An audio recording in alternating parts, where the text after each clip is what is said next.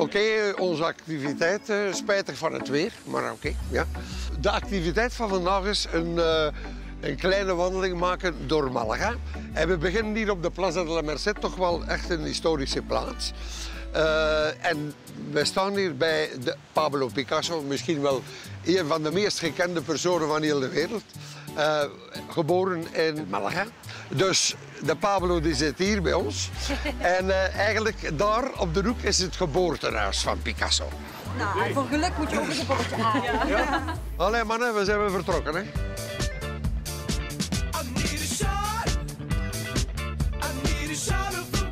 En dan zijn we hier bij, geland bij Theater Romano. Maar aan de achterkant Tel Casaba. Het is echt heel erg leuk om rondgeleid te worden door een Belg in Malaga. Maar ja, hij woont hier al zo lang. Hij weet zoveel. Heel interessant, heel gezellig, heel leuk. Voilà, we zijn aan het einde van onze wandeling gekomen. Hè.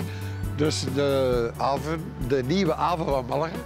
Dus een heel mooi project geworden met uh, horeca gebeuren en zo. De haven is het eerste dat ik altijd zal bezoeken, want ik ben, ben een gek van boten en water. Dus uh, zo niet, ja. Voor mij mag het uh, heel de haven een rondleiding zijn ook. En ja, voilà. Dus we zijn dus aan het einde van de wandeling. Sorry. Ik kan er ook niet aan doen. Ik had de zon verwacht, maar het is er niet.